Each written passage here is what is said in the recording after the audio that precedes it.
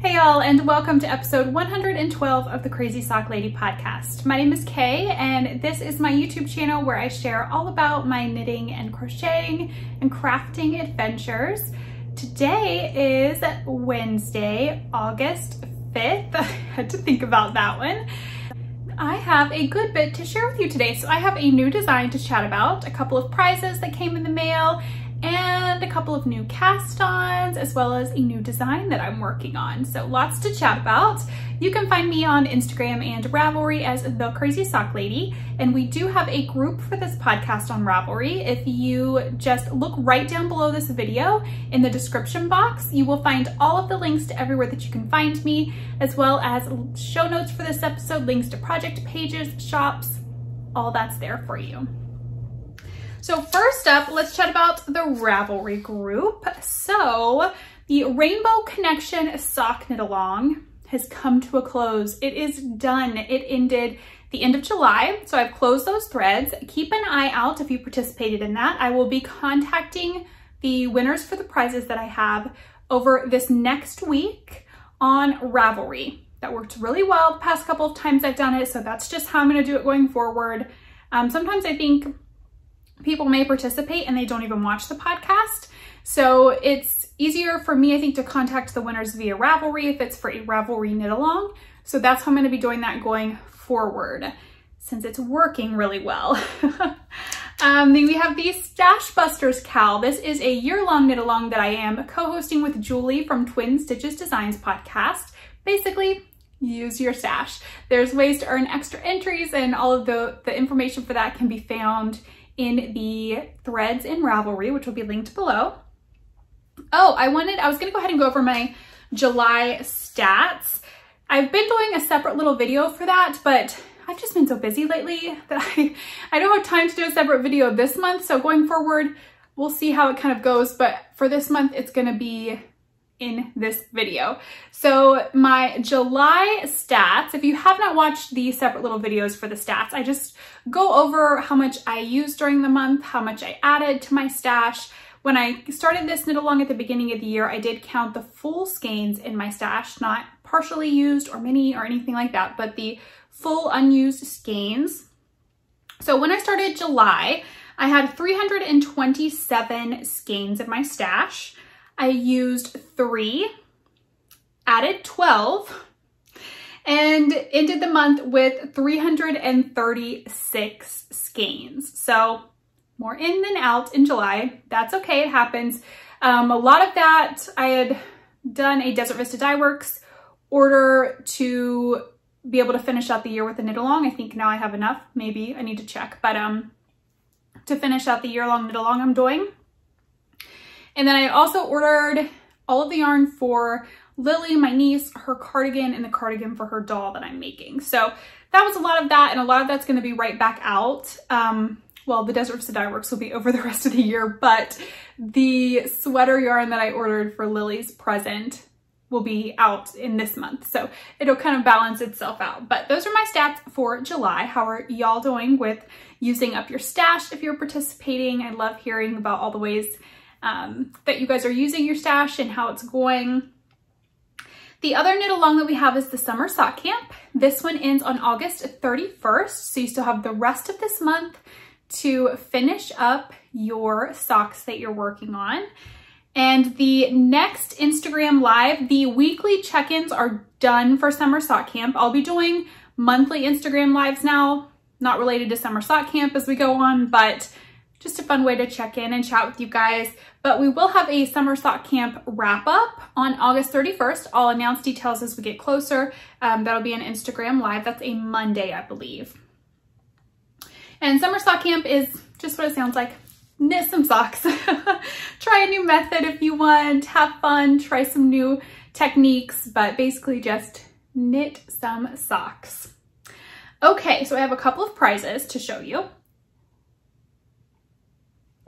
I'm actually using my Summer Sock Camp mug. There's lipstick on it now. Oh, and a huge thank you. I had this in the notes to chat about later, but I'll go ahead and mention it since I showed the mug. Thank you guys so much to everybody who chopped the Etsy shop update on Saturday. Most of the items are gone. I think all of the mugs are gone. I'm not sure. Yeah, actually, I think they're all gone. I think all the summer sock camp are gone. I was gonna say, I think there might be a couple, but I do think those are gone. I still have, sorry, that was pretty close to the camera. I still have some of the mint stainless steel tumblers left and can cozies. There's some progress keepers left. Trying to remember what else is left. But head over and check it out if you want to see if there's anything left that um, you might want to grab. I will, I've had a lot of questions about will I have more mugs. Summer Sock Camp is done for this year. That is it for 2020. There might still be some pins left and stickers for Summer Sock Camp, but the mugs are done.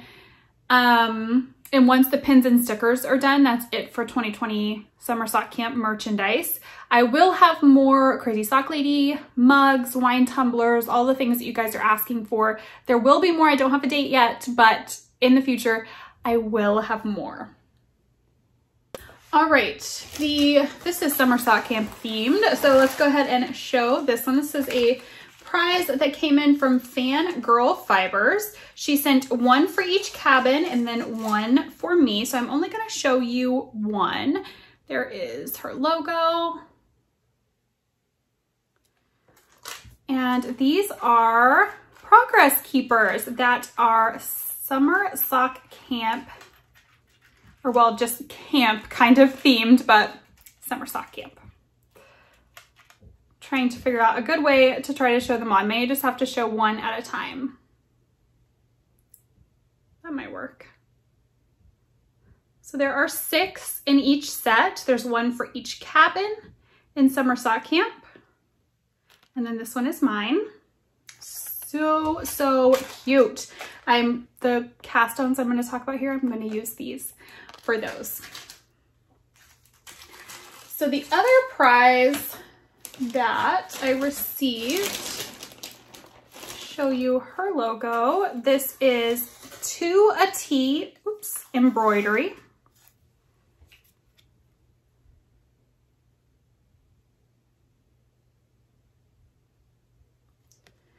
And she does the cutest things. She sent a ton of items here. So this is one she made and sent for me, and I thought this was so sweet of her. West Virginia. If you are first time viewer, um, my husband and I are born and raised in West Virginia. We currently live in Arizona.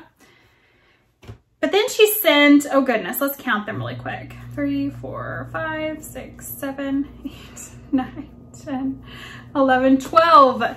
12 different ones. They will probably get a little blown out because I do have the blinds open. So some of them are yarn themed, some are not.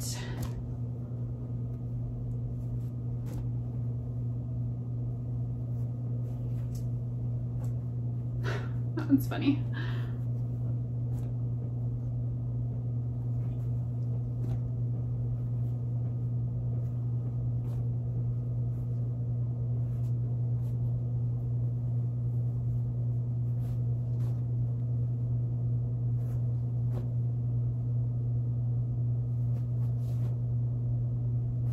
So these are super cute. I will be putting these in with prizes for summer sock camp. So I will just toss these in with 12 prizes. Now let's chat about the new design that has come out. This was kind of a surprise release. I hadn't really talked about this, but the Knit Knook yarn shop in Morehead City, North Carolina, right near where we used to live in North Carolina, had asked if I would design a pattern for their second anniversary celebration.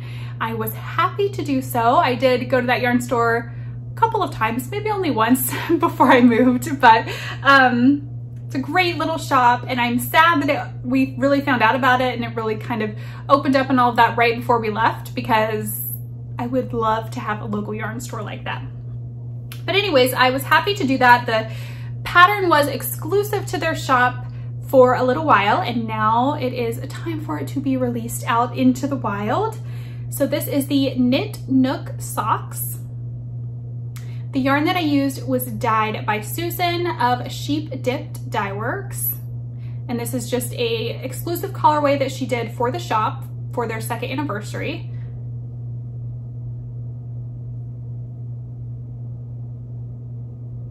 So it is a lace pattern that goes down the front of the sock only.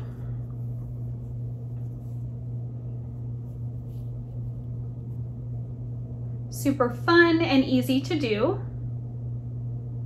I love the finished look of that.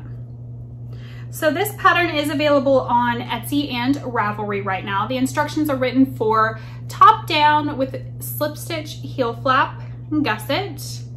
And rounded toe, it does tell you when to change colors if you want to do a contrasting toe.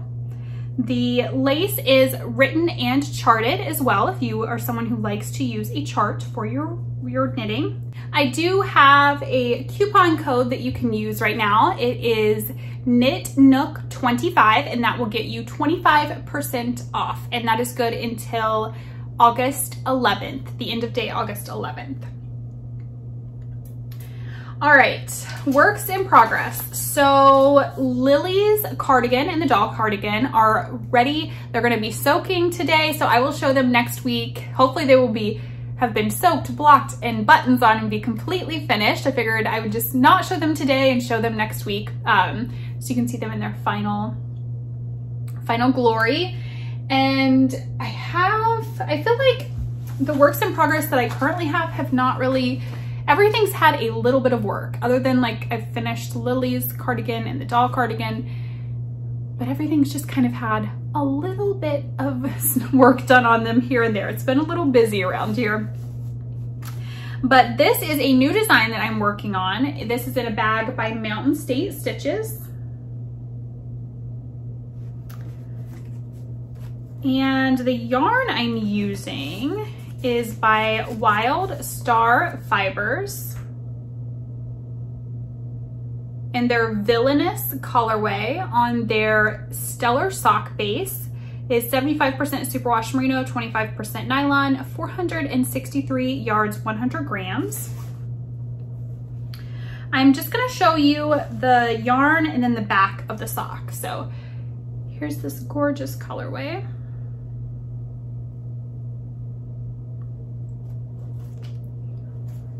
And back, so you can see it knit up. This one is a fun one. I'm just into like the second phase and this is gonna tell me if it's really working or not, or if I need to kind of swap it and do something different, but it does have some cables and twists, which I just love doing. So it's gonna be a fun one.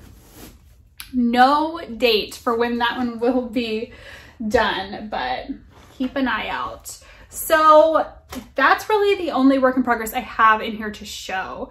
Like I said, everything else has just kind of had a little bit of work and I didn't really bring it in here to show. I thought instead I would show you a couple of things that I'm planning to cast on. So the first one I have in a bag here from Nanny's Attic Creations. Cute little bee bag. This is going to be a pair of socks that I'm casting on for Julie of Twin Stitches Designs one week sock challenge. It starts today on the 5th and it ends, what is the date it ends? I can't remember. A week from today at 11.59 p.m. your time. Did I write it down? Maybe I did. Yes, it starts today and it ends the 11th of this month at 11.59 p.m. in your time zone. And it's to finish one adult pair of socks within a week. So since today is the starting day, I'm gonna cast on at some point today. Do I have any business casting on a new project right now? No, I do not but it's that's not going to stop me. I'm going to do it. So I have everything ready in this bag. I have my needles, using ChiaoGoo red lace US 1 2.25 millimeter needles. And I will have links down below for every um, needle that I show you. Most of them are linked within the Amazon link that is down below. The yarn that I'm gonna use is by Lavender Mountain Yarns. This is on their 75-25 Superwash Merino Nylon base, 462 yards to 100 grams. It is the Royal Collection number four is the colorway that's listed. It is a very gorgeous purple.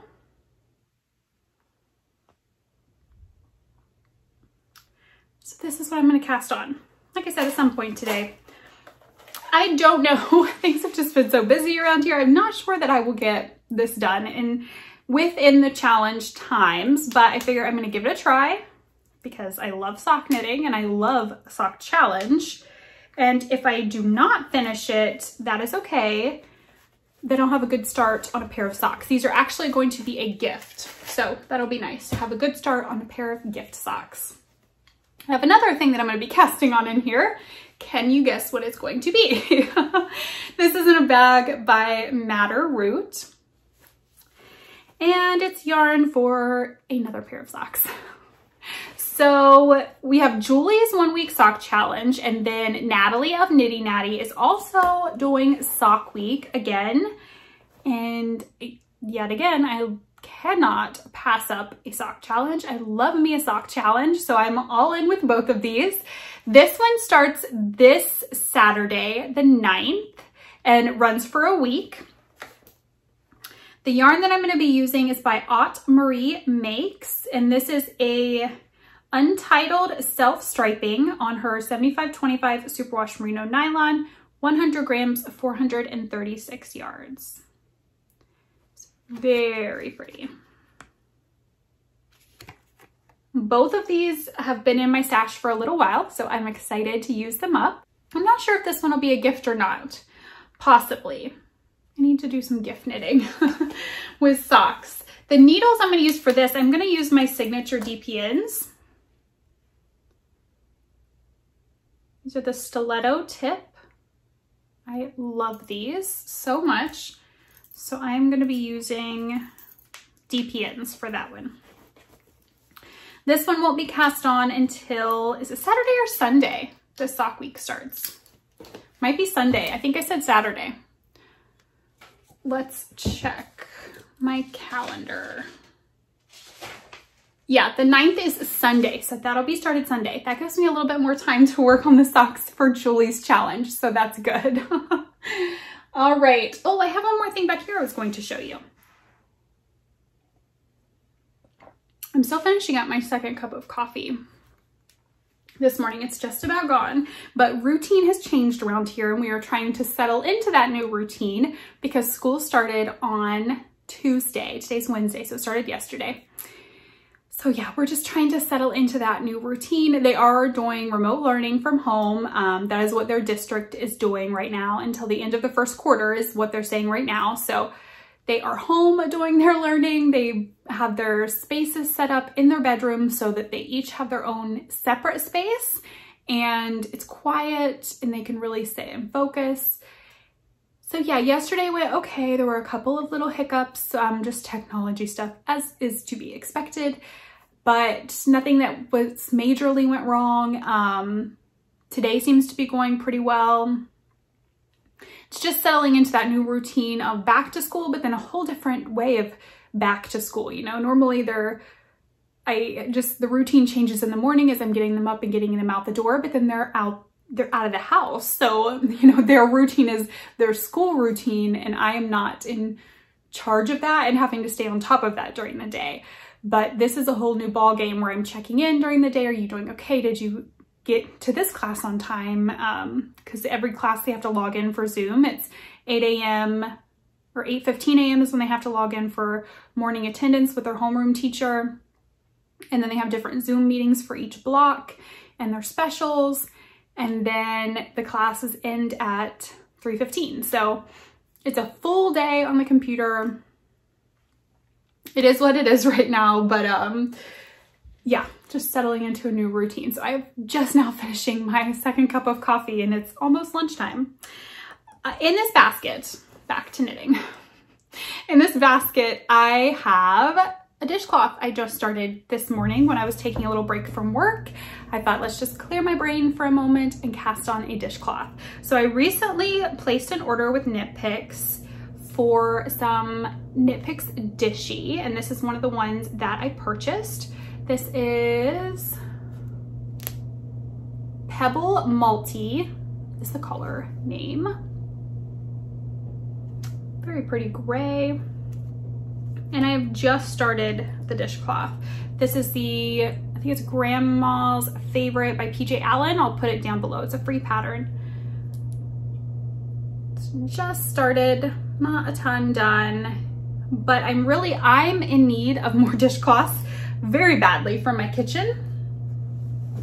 And then I also have not gifted them to some people in a couple of years. So I imagine they're in need of some dishcloths as well. Um, family members that I know use them and love them so much. So I thought, let's just order some Knit Picks Dishy and let's knit some dishcloths again. I haven't done them in a while. I was doing scrappy ones for a while, but I'm just in the mood to just have one ball of yarn, just knit a dishcloth from it, not have to worry about piecing colors together, which is so strange for me, right? Because I love my scrappy knitting.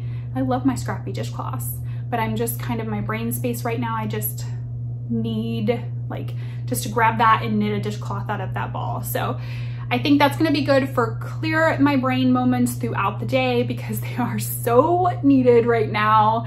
Um, yeah, that'll just be good to pick up and knit a little bit on here and there. And I think that pretty much wraps it up for today. As you can see back here, I've had I have lots of boxes in here. I've been packaging orders that from the shop update on Saturday. So that's been taking up a good bit of time throughout my day. I'll be working on getting those out over the next two weeks.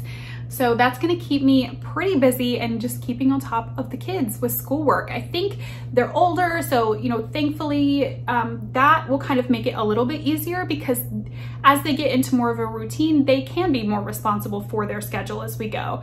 But it's just right now helping them get settled into that routine and making sure things are running smoothly with technology and all of that. So things will settle, things will, you know, smooth out with a routine. My kids thrive on structure and routine, so I know um, I know we will get there and then they will thrive once we do have all of that set into place. But speaking of kids and routines, it is just about their lunchtime. They get an hour lunch break every day. It's like a school-wide lunch break. Everybody has the same lunch time. So that's kind of nice. And then they get an hour and they can eat lunch and then just relax or yesterday Austin chose to get his chores done during that time. So it's all just, it's getting there.